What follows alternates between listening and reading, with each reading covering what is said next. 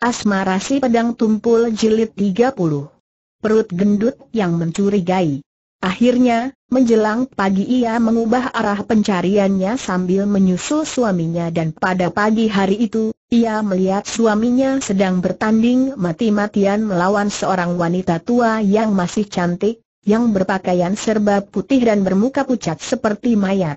Sebagai bekas tokoh Kangou, Tentu saja ia segera mengenal bahwa wanita itu adalah Pebin Moli, iblis betina muka putih, yang merupakan seorang datuk sesat, maka ia membentak dan segera terjun membantu suaminya. Gulungan sinar hitam menyambar dan Pebin Moli terkejut bukan main. Ia pun mengenal si Dewi ular cantik dengan pedang yang bersinar hitam itu, dan mukanya yang sudah pucat menjadi semakin pucat. Melawan Bok Chun Ki saja sudah amat sukar mencapai kemenangan, kini muncul tokoh wanita dari Bukit Ular yang lebih lihai lagi ini. Ia mencoba untuk melawan dengan sabuk ularnya, namun karena hatinya sudah gentar, dalam beberapa jurus saja sabuk ularnya putus menjadi tiga potong oleh Hak Chow Akiam, pedang ular hitam, di tangan Chu Suyin. Apalagi Bok Chun Ki juga mengurung dengan sinar pedangnya yang indah dan ampuh, maka kini Pak Bin Moli terdesak hebat. Ia masih mencoba untuk menggunakan pukulan beracunnya, yaitu Toat Beng Tok Chiang dan juga Toto Kantau Kuci, namun kedua orang lawannya terlalu kuat dan sudah menduga bahwa pukulannya itu mengandung racun yang berbahaya. Mereka menghindar sambil menghujankan serangan, dan akhirnya, pedang Hek Choa Kiam menyambar dahsyat dan membabat leher Pek Bin Moli sehingga iblis betina itu roboh dengan leher hampir putus, tewas seketika. Suami istri itu cepat menghampiri Cihan yang berdiri seperti patung memandang Akim yang berlutut dan menangis di dekat mayat ayahnya dan suhengnya. Guru dan murid itu tewas dalam keadaan yang mengerikan. Kedua tangan Owi Yang Chin yang menghitam sampai ke pundak, masih mencengkeram kedua pundak Manyoko yang tewas dengan mat mendelik dan dari pundak ke kepala berubah menghitam. Sebatang pedang samurai menembus perut yang Chin, seperti gambaran seorang pendekar samurai yang tewas membunuh diri. Melihat wajah Tung Hai Leong Owi yang Chin, berkerut sepasang alis Chu Suyin, ia segera mengenal datuk itu. Bukankah dia datuk bajak laut dari timur yang Chin Bok Chun Ki mengangguk sambil menghela napas. Peristiwa yang baru terjadi terlalu hebat, dan dia merasa beruntung sekali bahwa puteranya tidak sampai tewas atau cedera dalam peristiwa itu. Dan siapa pemuda yang dicekiknya itu tanya pula Cusui. Kini Cihan yang menjawab. Dia bernama Manyoko muridnya, ibu, hem, jadi yang menculikmu adalah keluarga bajak laut ini, Cihan tanya pula Chu Suyin. Akim yang masih bercucuran air mata itu tiba-tiba bangkit berdiri. Bajunya berdarah dari luka di pundak kirinya. Akulah yang menculik Bok Cihan. Aku dan mendiang Suheng Manioko. Aku siap menerima hukuman sikapnya tegas dan tabah, akan tetapi suaranya gemetar dan tubuhnya lemas karena ia memang telah banyak darah mengalir keluar dari lukanya dan ia pun lelah sekali menghadapi pengeroyokan tadi. Siapa gadis ini tanya Cusui LN, suaranya dingin dan marah. Ia bernama Ouyang Kim, putrinya, ibu, bagus, kalau begitu memang sepantasnya dibunuh sekali agar tidak mengotori dunia Cusui In mengangkat pedangnya, akan tetapi sebelum pedang itu menyambar, Cihan melompat ke depan Akim yang berdiri tegak dan tidak berkedip menanti datangnya serangan. Ibu, jangan tanda seru teriak Cihan. Chu In mengerutkan lagi alisnya dan memandang heran. Juga Bok Chun Ki memandang putranya, akan tetapi dia lalu berkata lirih kepada istrinya. In, tenang dulu, biar aku yang mengurusnya, In mengangguk, dan kini Bok Chun Ki memandang kepada putranya yang bersikap melindungi Akim, juga kepada gadis itu yang dengan gagahnya siap menerima hukuman. Hon, kenapa engkau membela putri Ouyang Chin? Bukankah ia dan suhengnya yang menculikmu ayah? Nona Ouyang Kim adalah seorang gadis yang baik, seorang gadis yang gagah perkasa dan kalau tidak ada ia yang melindungiku, tentu sudah lama aku tewas di tangan Manyoko itu. Bagaimanapun juga, aku tidak membolehkan siapa pun mengganggunya, apalagi membunuhnya. Biarlah aku yang dibunuh dulu kalau ibu hendak membunuhnya melihat sikap ini, Bok Chun Ki saling pandang penuh arti dengan istrinya. Dia pun masih hendak menyelami perasaan putranya, kami tidak akan membunuhnya. Akan tetapi, aku harus melaporkannya karena agaknya keluarganya bersekutu dengan gerombolan pemberontak dan match-match Mongol. Tidak, ayah. Harap ayah jangan tangkap Yang Kim. Aku yang menanggung bahwa ia tidak bersalah, tiba-tiba terdengar rintihan Akim dan Cihan cepat membalik dan merangkul gadis itu yang terkulai dan roboh. Nona, engkau, kenapakah? Engkau, tidak apa-apakah engkau tanda tanya-tanyanya sambil mengguncang tubuh gadis yang telah memejamkan matanya dan nampak pucat itu. Aku. Cihan, biarkan, mereka menghukumku, biar aku menebus dosa ayah dan Suheng, tidak, Akim. Tidak. Aku yang akan melindungimu teriak Cihan dan gadis itu mengeluh lalu pingsan dalam rangkulan Cihan. Jangan khawatir, Cihan. Ia hanya pingsan karena kelelahan dan mungkin terlalu banyak darah keluar dari lukanya. Mari kita bawa ia pulang dan kita rawat di rumah. Cihan memandang ayahnya, lalu ibu tirinya. Ayah dan ibu, tidak, tidak akan membunuh atau menawannya? Tidak, Bukan tanda tanya Bok Chun Ki tersenyum. Kini dia merasa yakin bahwa puteranya telah jatuh cinta kepada penculiknya sendiri. Juga Chu In tersenyum karena ia maklum bagaimana rasanya orang jatuh cinta dan tersiksa oleh perasaan cinta itu.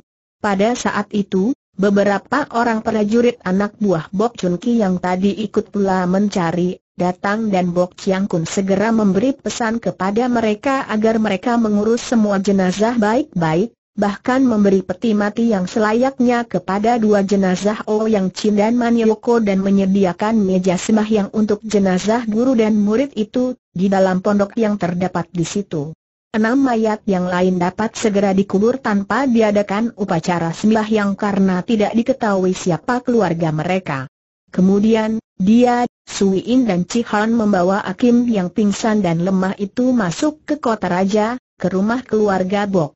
Bok Chun Ki dan Chu Suiin memeriksa Akim dan mendapat kenyataan bahwa seperti yang mereka duga, gadis itu pingsan karena lemah, juga karena tekanan batin melihat kematian ayahnya. Setelah memberi obat dan gadis itu jatuh pulas, mereka tidak mengganggunya, membiarkannya tidur dan memulihkan tenaga, kemudian di kamar itu juga, mereka mendengarkan keterangan Cihan. Cihwa juga berada di situ dan ikut mendengarkan, bersama ibunya.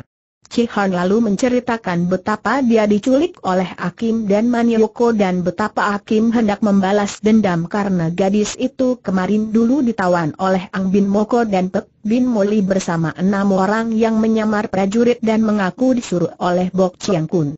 Baru kemudian Akin mengetahui bahwa yang melakukan sandiwara untuk melakukan fitnah terhadap Bok Chiang Kun itu bukan lain adalah Manioko sendiri yang telah bersekongkol dengan sepasang iblis bersama enam orang anak buahnya itu. Betapa Akim mati-matian membela dan melindunginya ketika dia akan dibunuh Manioko.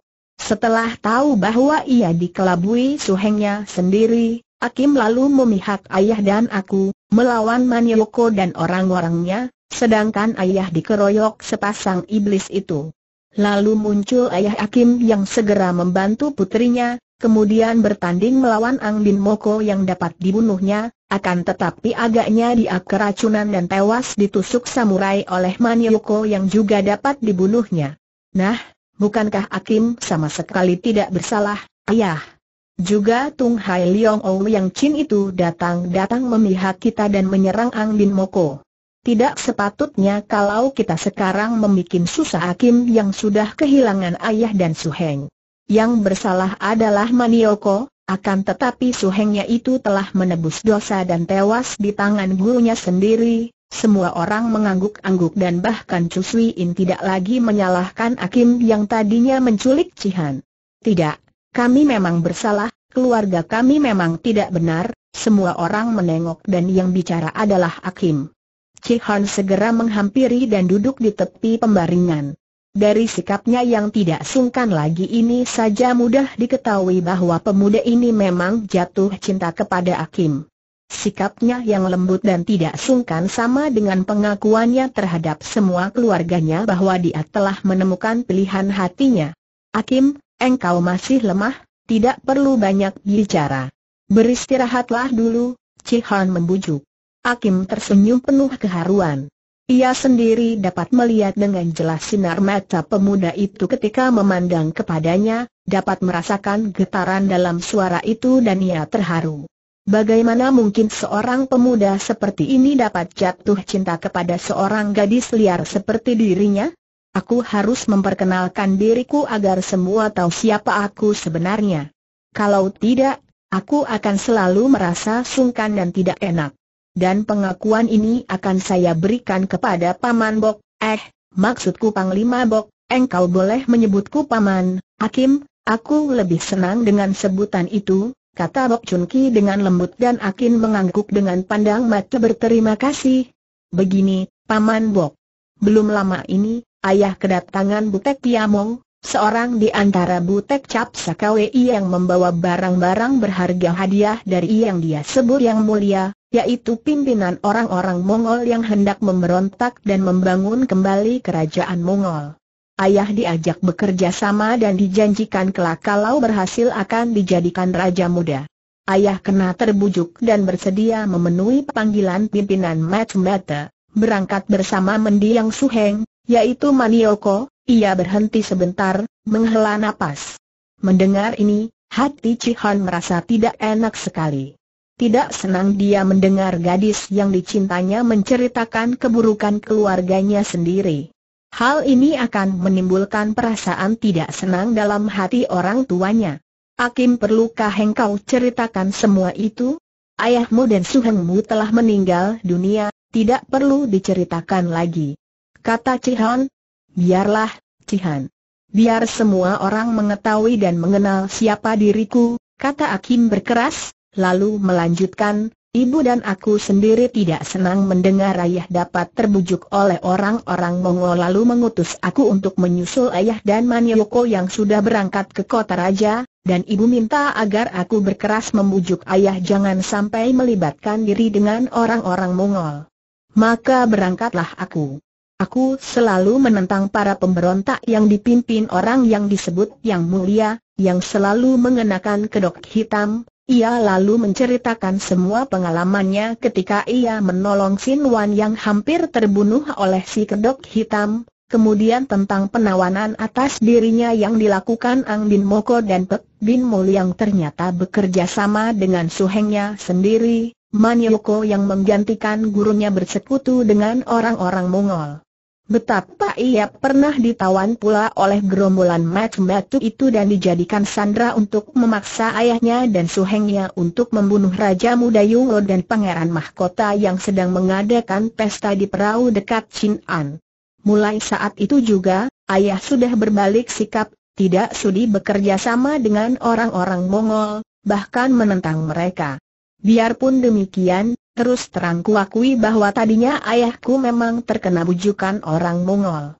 Ayah bercita-cita besar dan akhirnya, Akim memejamkan kedua matanya dan beberapa titik air mata menetes turun ke atas kedua pipinya. Sudahlah, Akim. Semua itu sudah berlalu, kami sekeluarga tidak ada yang menyalahkanmu atau mendiang ayahmu, kata Cihan menghibur. Dan mulai sekarang, engkau dapat hidup tenang dan damai di sini, di sampingku, Akim terbelalak, memandang pemuda itu, lalu menoleh dan memandang kepada Bok Chiang Kun dan kedua istrinya, juga kepada Chi Hwa yang sejak tadi hanya ikut mendengarkan saja. Ia melihat betapa semua wajah itu tersenyum cerah, bahkan Sui In mengangguk kepadanya. Cihon, apa, apa artinya ucapanmu itu tanda tanya Cihon yang sudah jatuh cinta itu, dengan jujur dan tanpa sungkan lagi mengaku, artinya, Akim, bahwa aku cinta padamu dan aku akan minta kepada orang tuaku untuk meminangmu, Ayah tanda seru Akim benar-benar terkejut dan juga kagum melihat kejujuran pemuda bangsawan ini. Ia pun harus bersikap jujur, kalau tidak, kelak hal yang disembunyikannya itu hanya akan menjadi gangguan bagi batinnya. Bagaimana mungkin, kenapa tidak mungkin, Akim Sui In berkata dengan lembut. Kalau kalian saling mencinta, dan pihak keluarga menyetujui, mengapa tidak mungkin?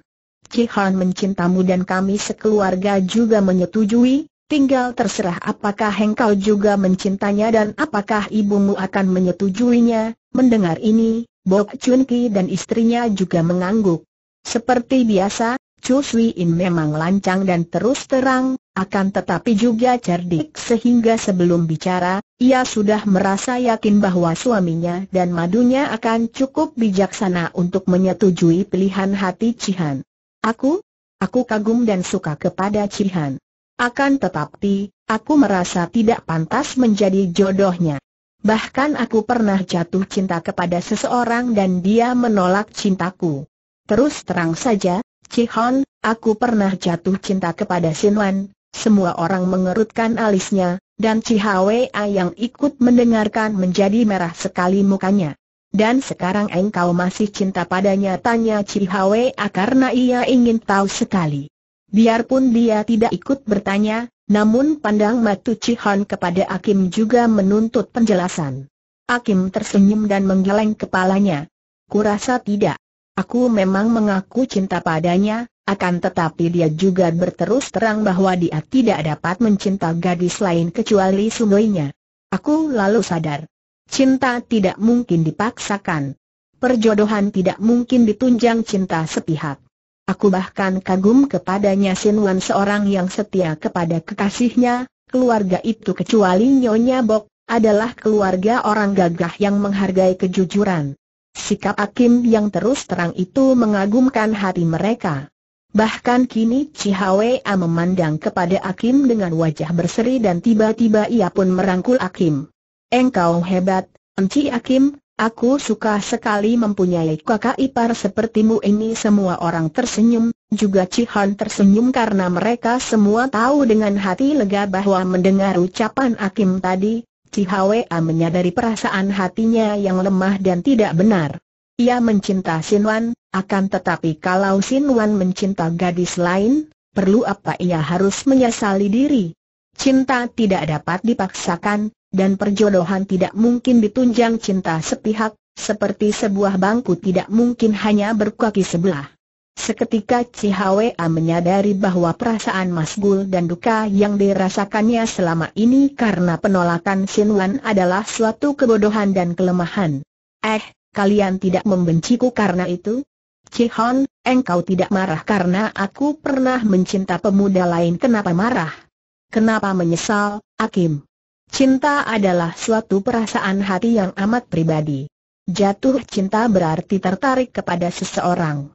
Kalau kita mau jujur, aku sendiri mungkin sudah puluhan kali jatuh cinta, tertarik kepada seorang wanita, akan tetapi semua itu hanya menjadi rahasia hatiku sendiri. Itulah bedanya antara engkau dan aku, kalau aku hanya merahasiakan perasaan hatiku, engkau berterus terang. Engkau jujur dan terbuka, Akim. Yang penting, sekarang kita saling tertarik dan saling jatuh cinta, Benarkah dugaanku bahwa engkau pun cinta padaku? Akim tersenyum dan mengangguk.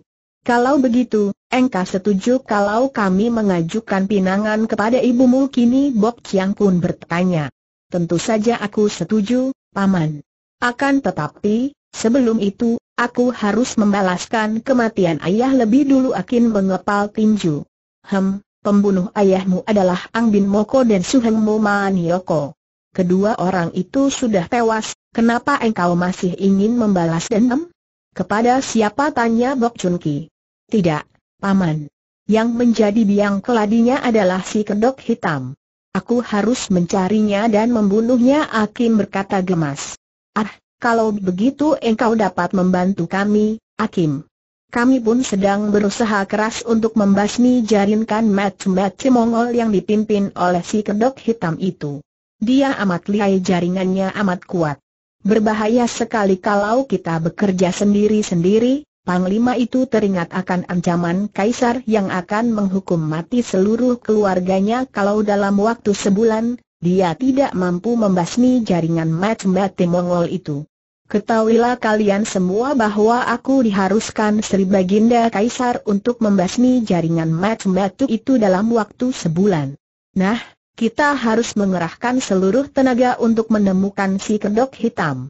Sayang Lili tidak segera pulang, karena tenaganya amat kita butuhkan, juga Sinwan, pada saat itu, seorang pengawal masuk dan melaporkan kedatangan Sinwan dan Kui Siang. Bok Chun Ki girang sekali. Tadinya dia mengira bahwa pemuda itu sudah tidak akan mau dan berani lagi datang ke rumahnya, dan dia sekeluarga mulai merasa menyesal telah pernah memaksa pemuda itu untuk mengawini Cihwa. Mereka hendak memaksakan sebuah pernikahan dengan cinta sepihak. Biarpun mukanya berubah merah, namun sekali ini Cihwa tidak lari bersembunyi, melainkan bersama Akim dan yang lain keluar menyambut kunjungan Sinwan. Sin Wan dan Kui Siang berdiri memberi hormat kepada keluarga Chuan Rumah dan diam-diam dia terkejut melihat Akim berada di situ, bergandeng tangan dengan Hwa. Kalau tadinya Sin Wan merasa tegang hatinya dan juga amat sungkan untuk datang ke rumah ini dan bertemu dengan keluarga yang marah kepadanya itu, kini dia merasa heran dan lega hatinya. Bukan saja Hwa memandang kepadanya dengan sinar mata biasa dan senyum di bibir, juga Chu In sendiri yang begitu marah kepadanya, kini menyambutnya dengan senyum di bibir. Bahkan Akim, yang pernah marah dan merasa terhina karena dia tidak dapat membalas cintanya, kini memandang kepadanya tanpa perasaan marah dan benci. Paman Bok, harap maafkan kami kalau kedatangan kami ini mengganggu paman sekeluarga, kata Sin Wan setelah bersama Kui Siang memberi hormat. Tidak ada yang perlu dimaafkan dan engkau sama sekali tidak mengganggu, Sin Wan. Bahkan kebetulan sekali engkau datang karena kami memang memerlukan kehadiranmu untuk membicarakan tentang jaringan match-match Mongol, kata Bok Chiang Kun. Dan nona ini, siapakah ia ini adalah Sumoy Kung Lim Kui Siang, paman. Ia adalah putri mendiang bangsawan Lim Chun, pengurus gudang pusaka istana, ah, aku adalah sahabat baik mendiang ayahmu, Nona Lim kata Bok Chun Ki dengan gembira. Mari, silakan masuk, kita bicara di dalam, mereka semua masuk dan duduk di ruangan dalam. Setelah duduk mengelilingi sebuah meja besar, Akim yang kebetulan saling pandang dengan Sinwan lalu bertanya, Sinwan, Inikah semuimu yang menjadi calon jodohmu itu semua orang tidak kaget lagi mendengar pertanyaan yang demikian jujur dan terbuka dari Akim karena sudah mengenal wataknya.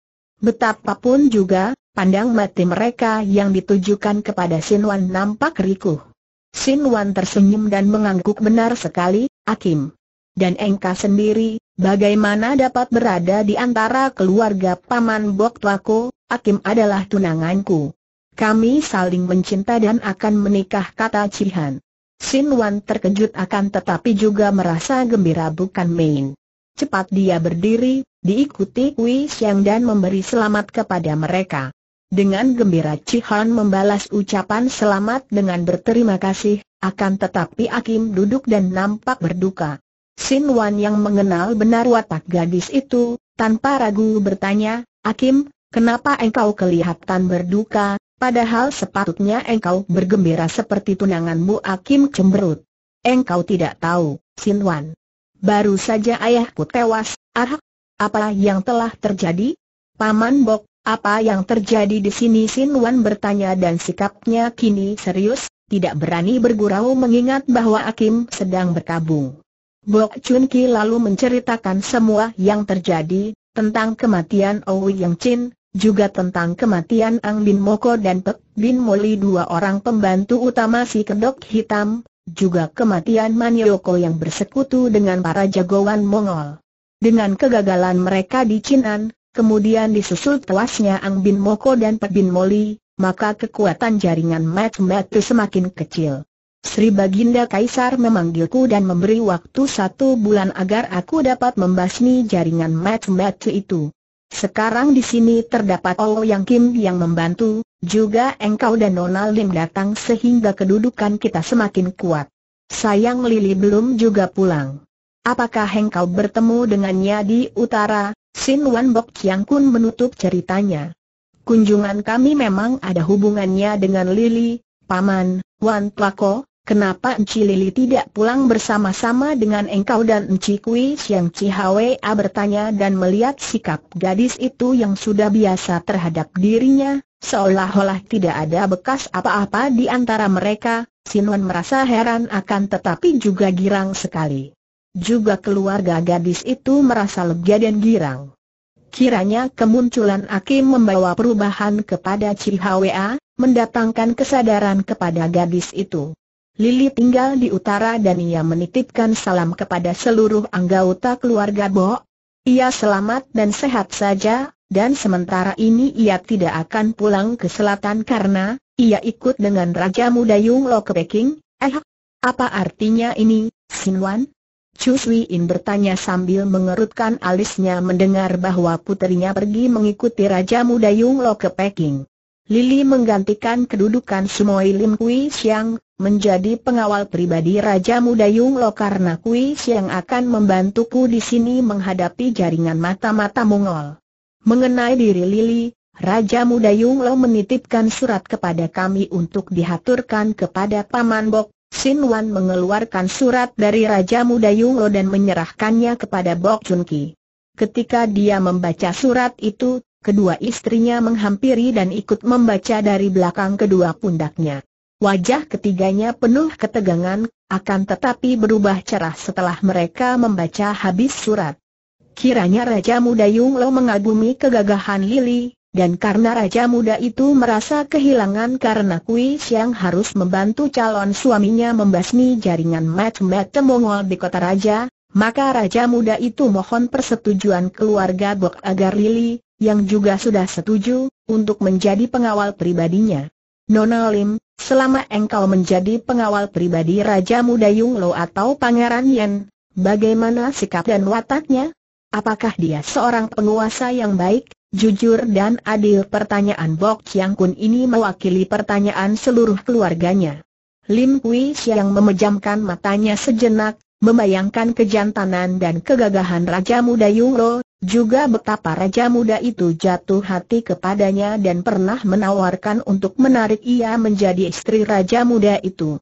Kemudian dengan suara bersungguh-sungguh ia berkata, Paman Bok, kalau aku boleh mengatakan, di dunia ini, kecuali Koko Sinwan, dialah pria yang paling hebat, paling bijaksana, keras dan adil, akan tetapi juga bersusila dan berbudi mulia.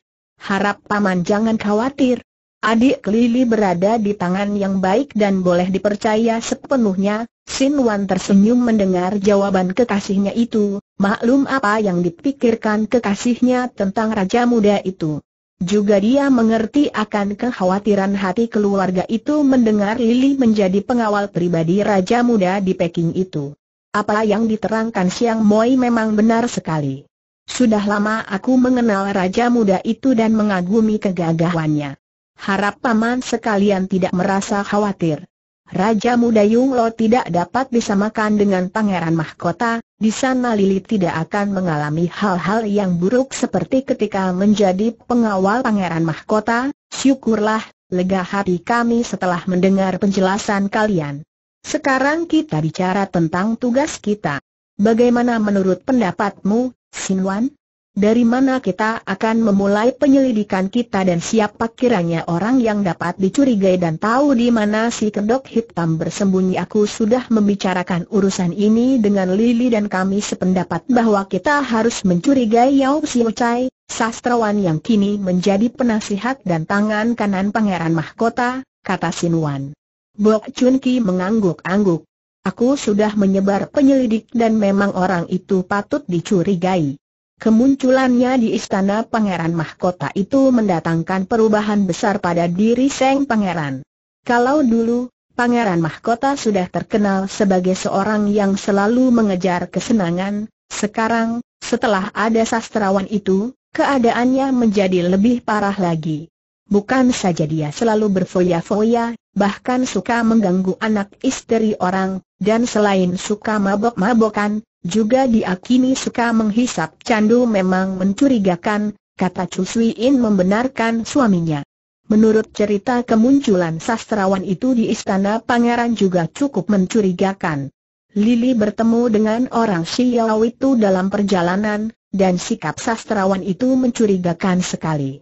Lili sama sekali tidak mengenal asal-usulnya, dan biarpun penampilannya seperti sastrawan dan bekerja sebagai guru sastra untuk putra pahgeran mahkota, namun menurut Lili, sastrawan itu memiliki ilmu silat yang tinggi, memang dia patut dicurigai, akan tetapi bagaimana mungkin dapat membuat dia membuka kedoknya dan bagaimana kita dapat menyelidiki siapa sebetulnya dia?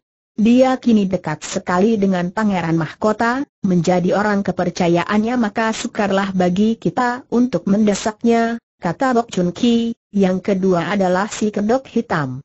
Kalau saja kita mampu menemukan orang itu, kiranya semua rahasia jaringan match-match akan dapat terbongkar. Akan tetapi ke mana kita mencari orang tinggi besar yang berperut gendut itu? Ilmu silatnya juga tinggi sekali, nanti dulu tanda seru tiba-tiba Akim berseru nyaring sehingga mengejutkan Cihan yang duduk di sampingnya karena pemuda itu mengira bahwa kekasihnya itu diserang rasa nyeri pada pundak yang terluka. Ternyata tidak demikian. Luka di pundak Akim itu sudah sembuh berkat obat yang mujarab dari Cuswien. Aku teringat sesuatu ketika Paman Bob menyebut si kedok hitam yang berperut gendut. Perut gendut? Perut gendut tanda tanya tentu saja semua orang merasa heran, bahkan merasa geli mendengar gadis itu berulang kali menyebut perut gendut. Tiba-tiba Akim menoleh dan memandang kepada Sinwan. Eh, Sinwan, masih ingatkah engkau ketika kita berdua menyerang si kedok hitam, kemudian datang anak buahnya sehingga aku tertawan olehnya Sinwan mengangguk dan memejamkan mata untuk membayangkan kembali peristiwa itu. Ya, aku ingat. Dia lihai sekali, akan tetapi kalau tidak datang kawan-kawannya pada waktu itu, agaknya kita berdua akan dapat merobohkannya, bukan itu, Sinwan, akan tetapi perut gendutnya kata pula Akim dan kini ia nampak tegang. Semua orang tertegun heran karena kembali Akim menyebut tentang perut gendut. Memang si kedok hitam itu berperut gendut, Akim, lalu kenapa Sinwan, kita sungguh bodoh sekali mengapa baru sekarang sadar akan itu. Lupakah engkau ketika kita menyerangnya? Ketika itu, pedangmu yang tumpul tapi ampuh itu membuat dia terkejut dan pedang di tangannya rusak oleh pedang tumpulmu. Dan pedangku ini, tiba-tiba Akim mencabut pedangnya yang tak pernah terpisah darinya dan semua orang terkejut melihat sinar pedang yang mengandung hawa dingin itu.